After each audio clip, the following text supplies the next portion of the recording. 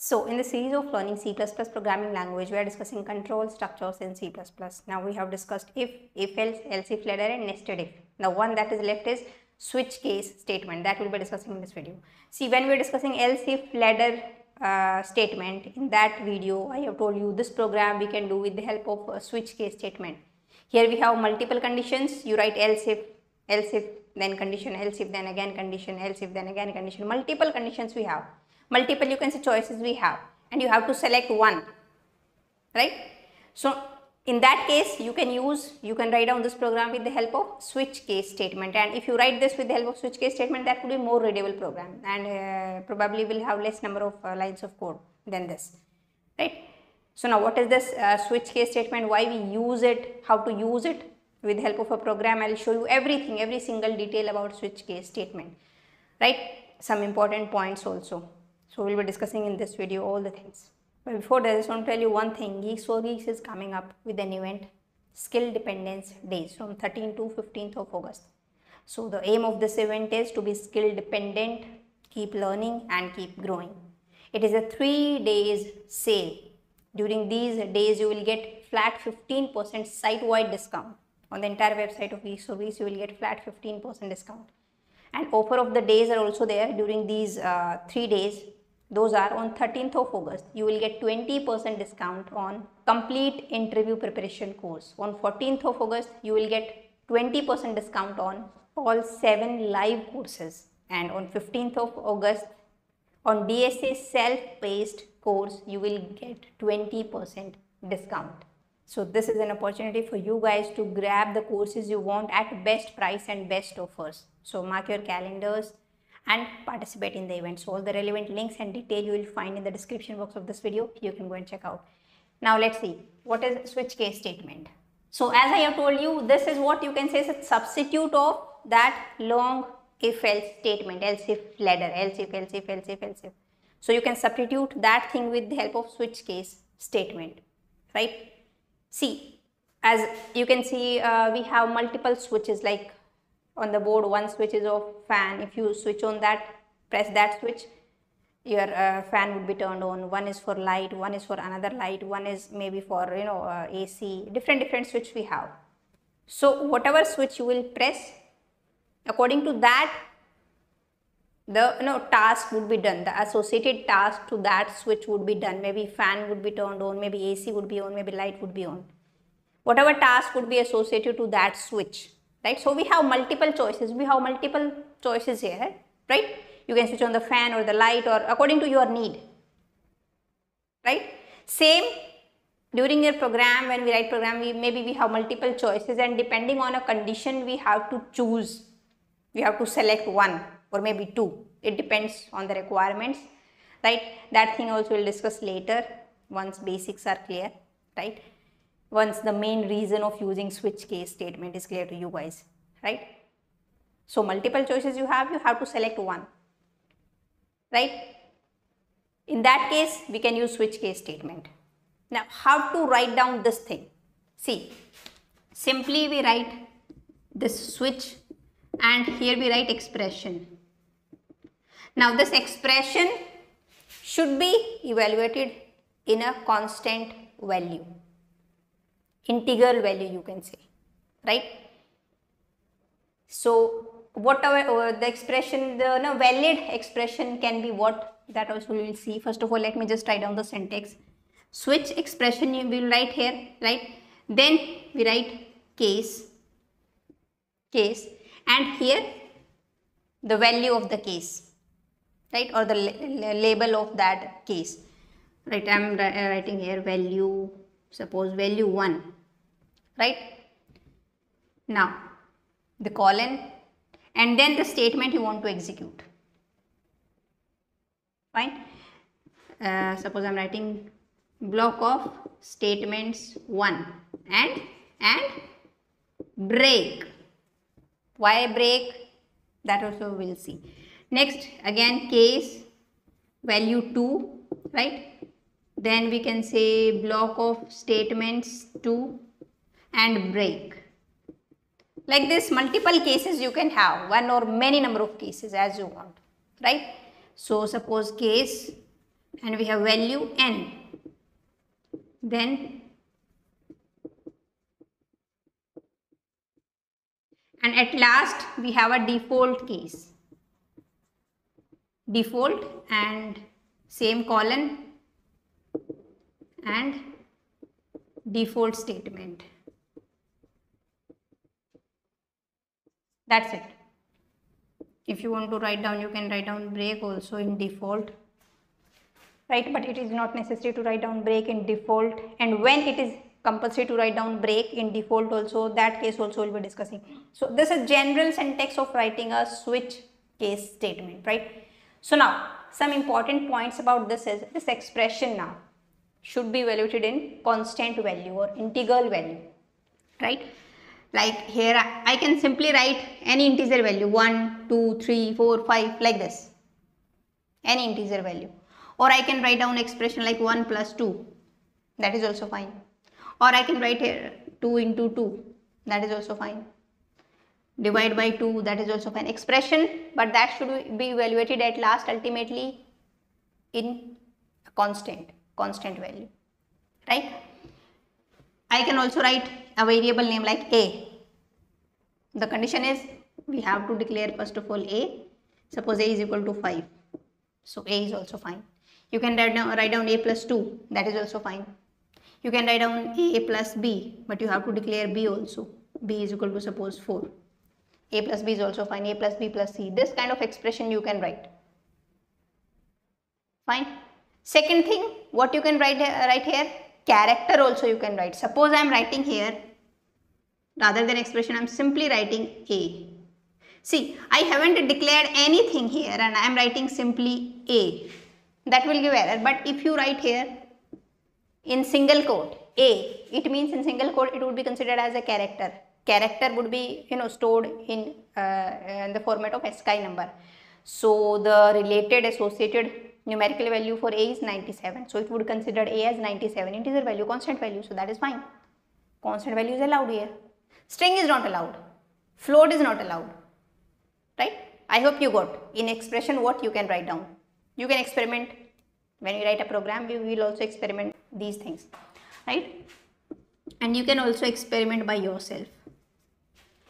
Now this value these value value 1 value 2 value n these also be should have uh, integral value like either a constant value 1, 2, 3, 4, 0, minus 1, 99, these kind of things, 100, 257, integer value or character value.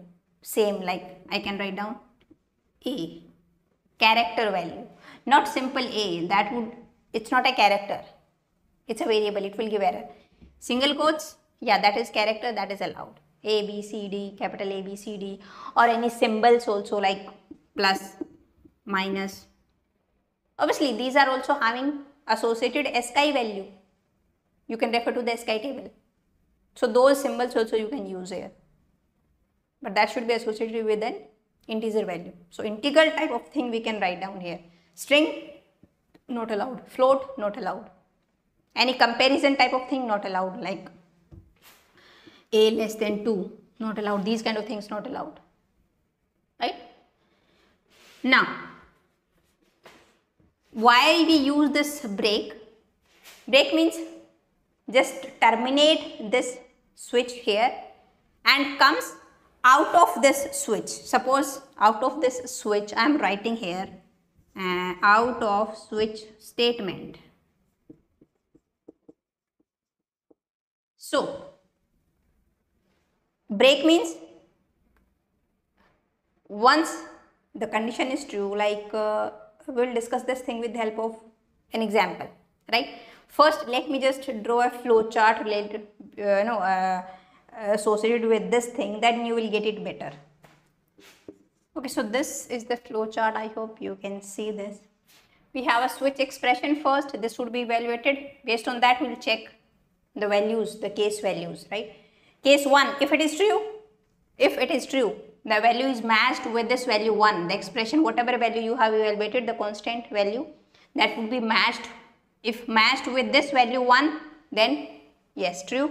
Then this block of statement would be executed. then break and after that break means out of the switch out of the switch means out of switch statement directly out of switch statement if case 1 value doesn't match it is false case 2 would be checked same thing would would happen if true this statement would be executed break and out of the switch if not true false third case would be checked fourth like this n number of case would be checked and after that directly default statement would be executed and out of switch statement.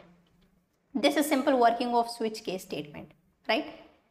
Now I have told you two important points. What here you can have, what these values you can have, right? Now see, if you don't write break statement here, then it is not going to break here. If this value would be matched, it would enter here, this statement would be executed and it would also execute this block of statement. As soon as it find out a break, then it will break, it will come out of the uh, switch, no, uh, out of the switch and go to out of switch statement, right. That is why we write down after every, in every case break. If you want that, if this value is true, if this value is matched, these two cases should be executed. So no need to write down this break, right. Now, if in the last you are writing default, no need to write down this break. But you can write down this default anywhere in the switch. Here also, in between any case statement also. If you are writing this default, at the end it's okay. If you are not writing at the end, then it is compulsory. You should write break in this default statement. These points you need to take care, right? And this default is optional. If you don't want to write, it's okay. Then also this would be executed. Default means if any none of the case value is matched, then by default, maybe we are writing like enter valid choice, right? These kind of things. So error or maybe error message you want to print. So that is by default, but it is completely optional, right? Break is also optional, but why we are writing break, why it is compulsory that I have told you, the reason also, that I'll show you also uh, when we write a program. So let me just write down a program and show you the working of this switch case statement. Okay, so first program we will write, like see, whenever you go to customer care, then they give you multiple options like press 1 to do this thing, press 2 to do this thing, press 9 to uh, talk to our uh, you know, customer care executive, right. So according to your whatever number you will press, according to that action would be performed, right. You have multiple choices. So that kind of thing we are going to, you know, do with this uh, switch case statement, that program we are going to write. So same header file using namespace std, then main function I'm first of all writing uh, taking int variable int choice ch choice enter your choice. Now I'm asking from the user enter your choice. Now cin we have entered a choice. In switch simply write down ch. I'm not writing at this point of time any expression long expression simple a variable I'm writing. So this variable value would be checked against the test case against the case values and match case if the case is matched associated to that uh, the whatever the statements are there that would be executed right. So, simply a variable I am writing ch whatever you will enter 1, 2, 9, 5, 4 right. Switch ch now okay case first we will write like uh,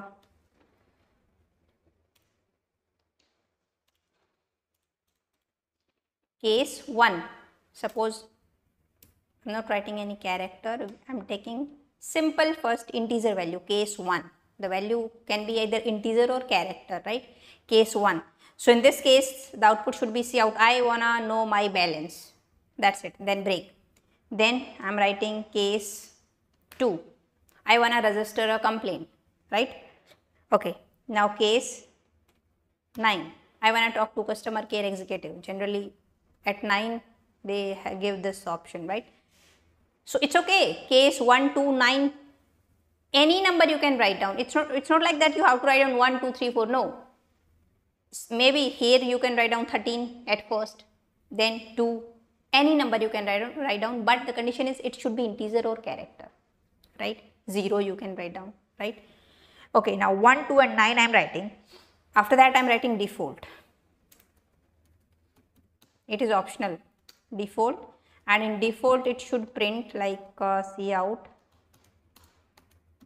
enter valid choice. Right? And uh, break. Okay fine. Now out of uh, the switch I'm writing cout end of switch case. Or may simply I'm writing out of switch case and return 0 right? Let me just run this program. It is simple program. First of all it will ask enter your choice. It is asking. So I'm entering 2 now what it is printing? I want to register a complaint.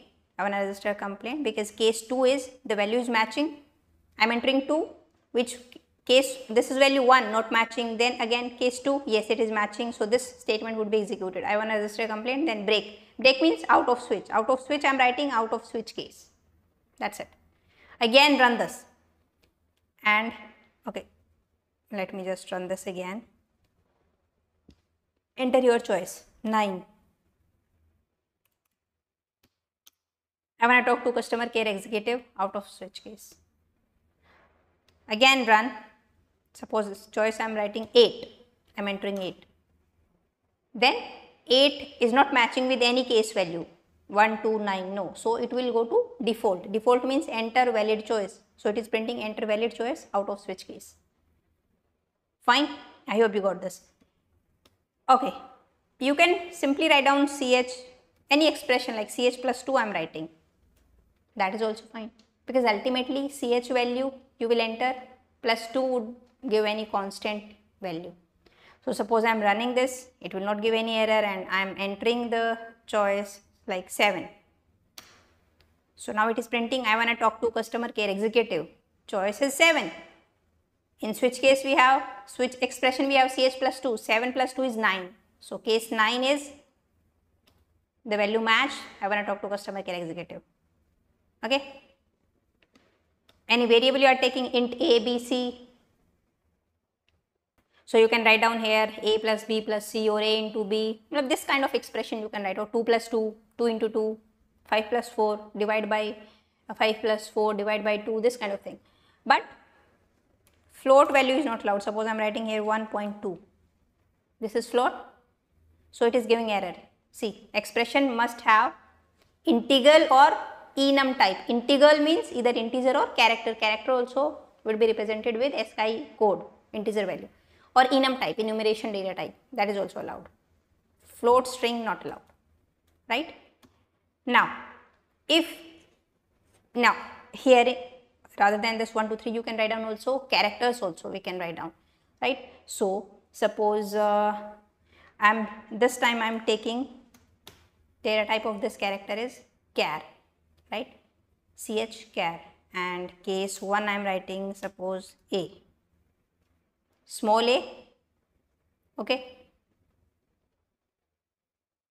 And it will print. The character is a. That's it. Now case 2 i am taking capital a. And here i am printing printing. The character is capital a okay. And case 1 I am taking suppose uh, capital J. So simply I'll print.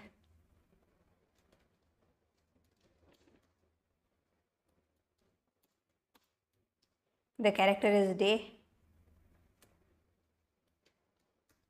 and in default I am printing enter valid character. Right and then out of switch. So fine character values are also allowed, integer or character. Let me just run this. Enter your choice. I am printing small a. The character is small a out of switch case. Again run this. I am print I am uh, entering R. Enter valid character out of switch case. No case is matching, right? Okay. If uh, see, I don't write any break here in that case, what will happen? See. Let me just run this and show you. Enter your choice. I am entering small a. So, what it is printing? The character is small a, the character is capital A and then out of switch case. Why so? I am entering A, choice is A, so it is matching with this case A, so it will print the character is A. Then no break, so it will continue executing. The character is capital A. Now break, yeah. Once it will find break out of switch, right? That is why we are writing break to break the flow, the execution, right? Now default you can write down anywhere in your program. I am writing this default at starting. If you are writing at starting or anywhere, you are not writing at the end, then it is compulsory to write down this break. If you will not write down this break, what will happen? See. Let's run this. I am entering small o, small r. What it will print? Small r is not in any case. So it will be executing default statement. Default means enter valid character.